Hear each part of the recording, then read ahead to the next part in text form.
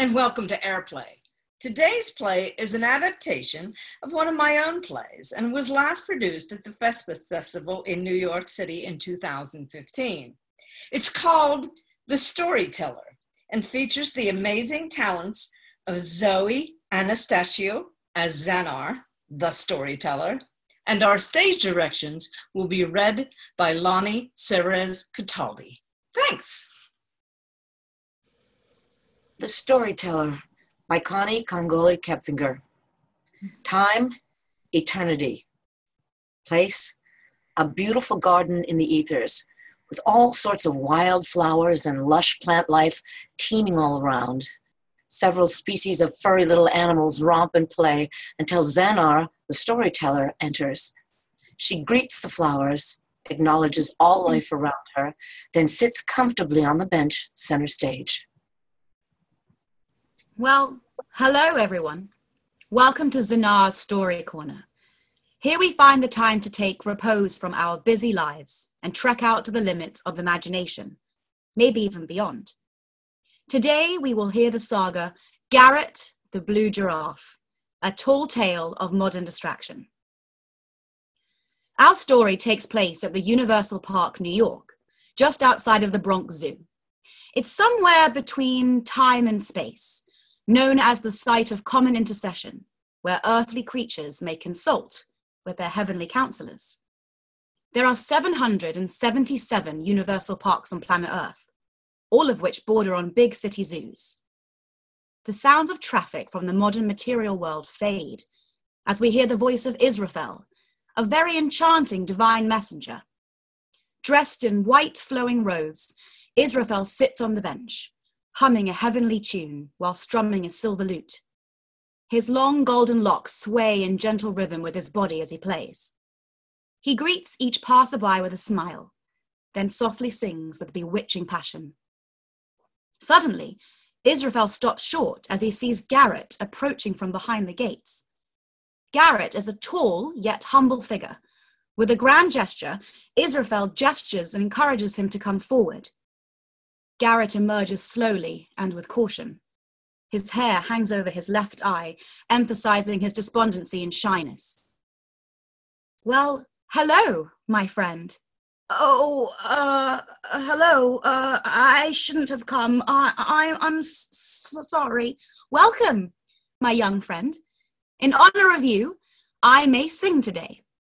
Are you my my heavenly counselor? That I am. And you must be Garrett. Garrett the blue and sad giraffe. They shake hands. Israfel looks about, then motions towards the bench, asking Garrett to sit.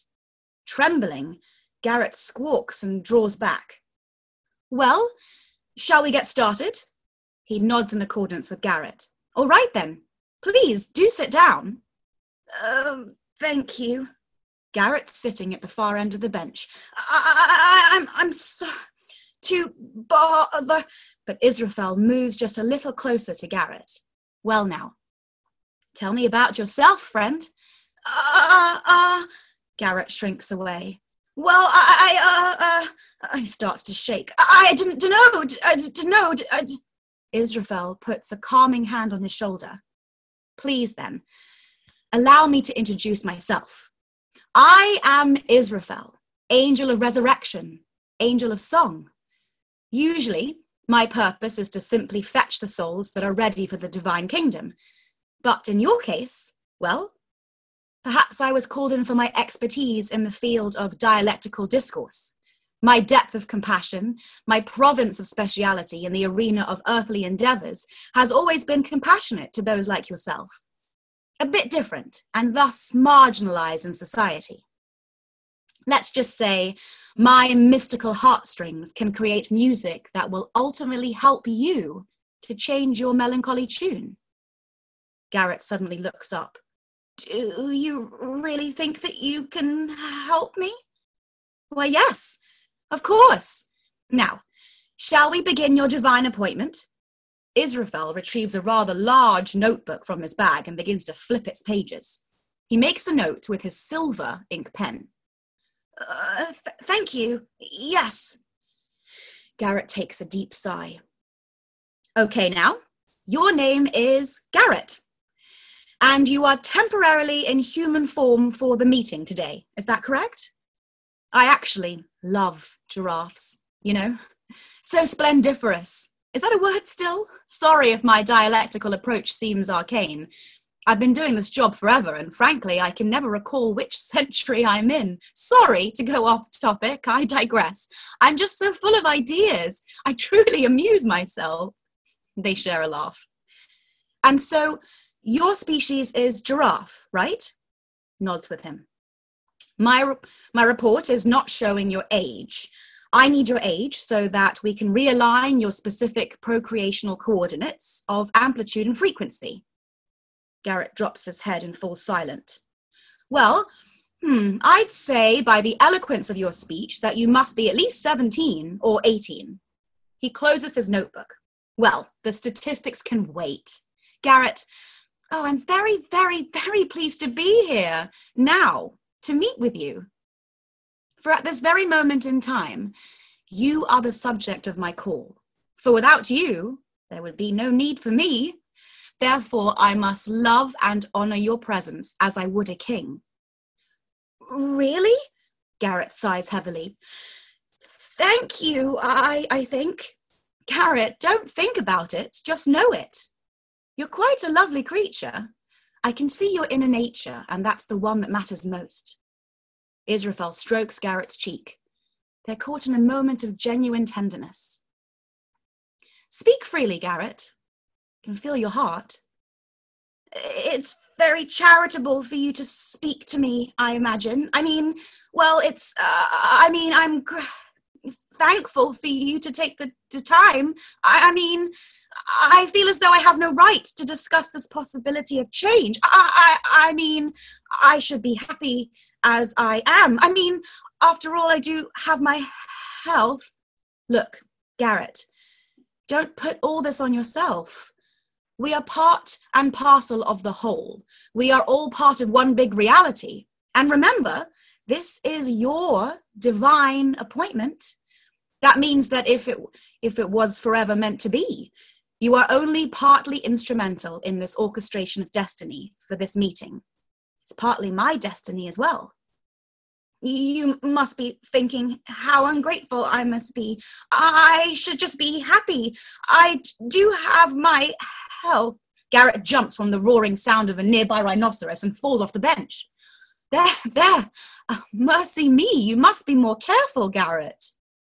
Israfel helps Garrett to his feet, and they return to sitting comfortably on the bench. Be more gentle with yourself. gentle, Garrett begins to reflect. Yes, that is what first attracted me to them. Yes, it was their gentleness everyone seems to think that since they're so massive that they must be coarse and violent when in fact they're, they're truly some of the most gentle giants on the planet. Israfel reassures him. Yes appearances can and will be deceiving. I i guess i am a bit hard on myself. Still i i'm afraid. I want i want oh, I should just be happy. I, I do have my. Oh, oh, n- no. He's starting to cry. Oh, I'm so unappreciative. Shh. Israfel softly puts his finger to Garrett's lips and whispers. Now, listen to me, Garrett. Stop. I do not judge you. I judge no one. I know that you are sincere you have no motive, no need for greed or power. This is your pure desire. You, Garrett, the blue giraffe, speak purely from your heart. And that's my language. In fact, the language of the heart is the only true language there is. It is the language of love, and it flows from the compassionate heart of all creation. Uh, well, it, it is my heart. I, I, can I can feel it be- beating, be- beating, reminding me all, always, always. Well, then, Garrett, if you're feeling the one true heart of the universe, you must know that I can feel it too. I can know and understand. I feel your pain. I share your joy. We are one body with only one heart, one mind. Those of us that are true, true to the music of our own destiny, can, will, and must dance to the singular tune of truth. Israfel embraces Garrett and begins to rock him gently as he sings. Mm-hmm. Once long ago, a young giraffe did go to meet his fate head on. He was a bit afraid, and yet a promise there he made to embrace it and to face it with his heart. So, then, Garrett, are you ready? I- I'm af- afraid. I need you to stand up. You must face the music and, and dance with me. Garrett hesitates. Israfel lifts Garrett to his feet and hums the tune to start the dance. Mm-hmm. Garrett tries to dance but stumbles. Oh, oh I'm sorry. M- maybe we should call this whole thing off. I, I f- f- felt like this whole experience was, was is all in, in my mind. Yet I, I know it's it's in my heart. I have no right to ask for molecular reconstruction. I can never be a rhino. And I'm really n- not a dancer either. Sorry, I-, I tend to stumble a lot, which is strange too. I mean, I mean, being a giraffe and, and all. Ah, see there? The process has begun. You've taken the first steps toward change. You were dancing. Israfel tries dancing with him again, this time ever so slowly. Garrett, you are really in tune with your inner self. Many creatures try to hide their desires, but the smoke from the fire only clouds their minds and pollutes the bigger picture. People think that their deep rooted desires will go away, but once they're planted, they have no choice but to grow. Garrett, my fair friend, this is what really brings us all together in the Garden of Life. The affairs of the heart, the ultimate involvement. It's so simple, yet so complex.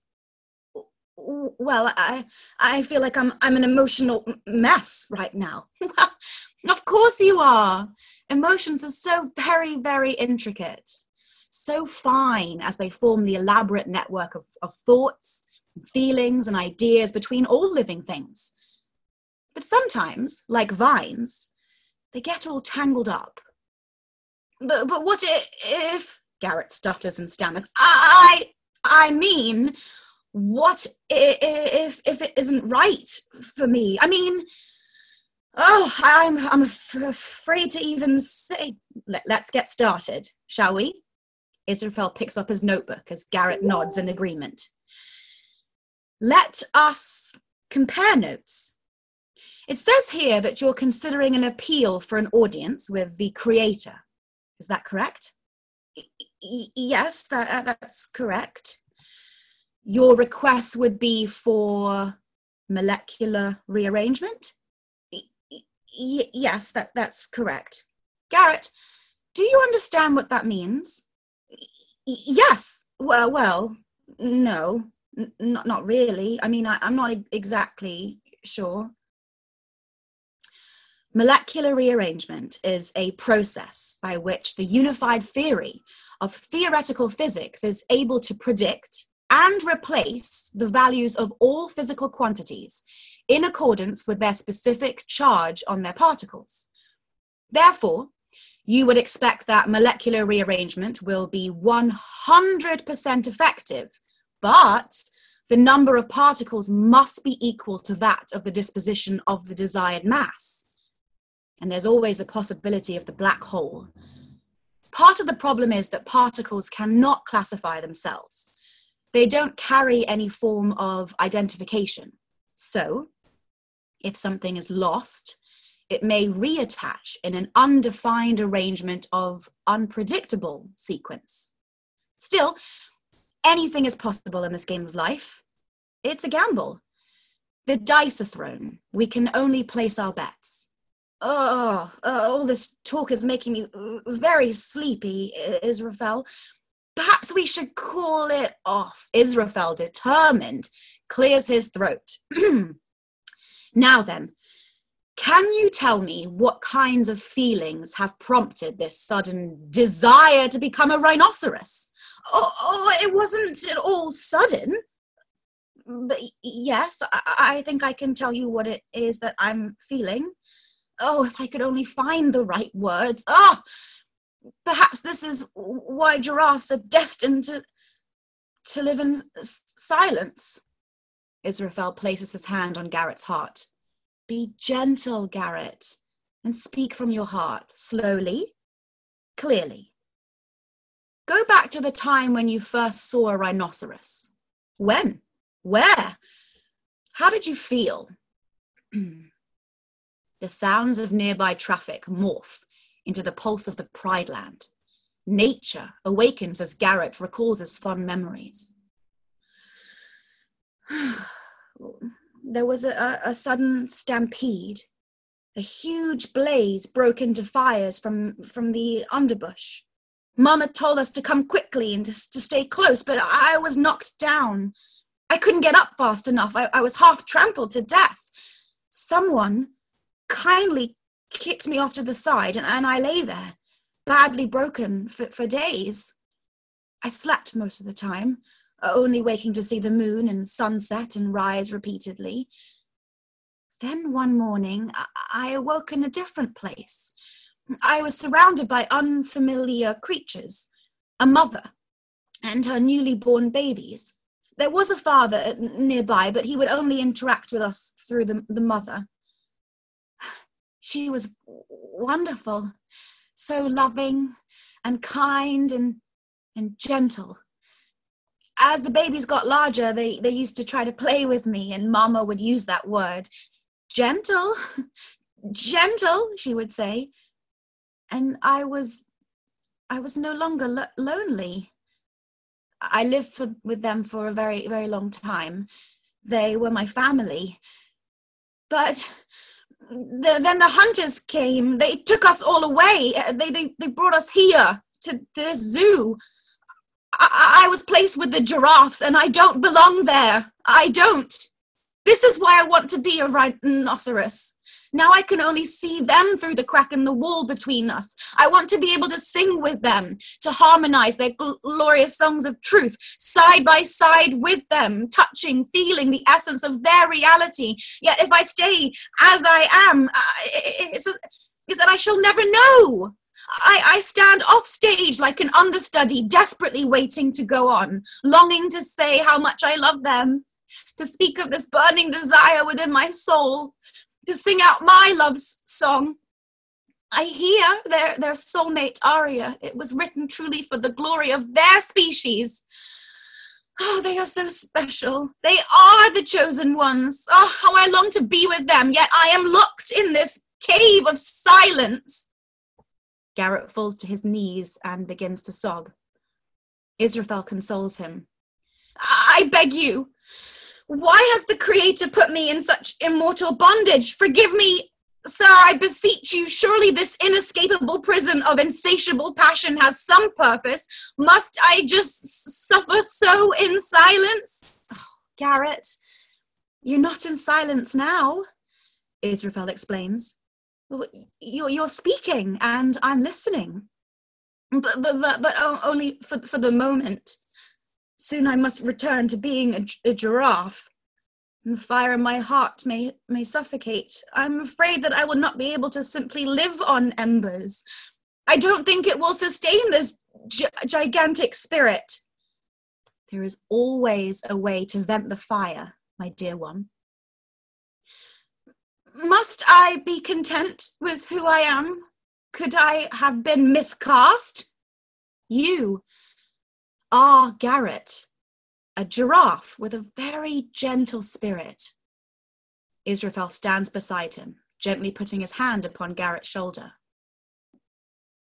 The great divine director never casts in error. You are who you are, And yet, like all those evolving, you're becoming one with everything. We are all separate, yet connected. This, my fine friend, is merely your evolution. We all go through it. It's a period of adjustment. So be gentle on yourself, Garrett. Be the gentle giant that you are and walk with your, your head held high. Yes, in stillness and silence. A single tear falls from Garrett's eye and Israfel catches it. Your tear is mine now. Let me carry it for you now, Garrett. Thank you so much for, for coming, Israfel. Thank you for calling me, Garrett. You are truly a, a wonderful mentor, Israfel. Thank you. I, I do feel stronger and, and lighter, as if a burden has been lifted. then I believe you're ready. Ready to begin the process of molecular reconstruction, my friend. Well, I I don't know that I, I, I want to change anymore. I'm starting to feel very good about myself, inside and out. Well, this is wonderful, Garrett. Truly it is. Hmm. Sometimes the biggest changes are not changes at all.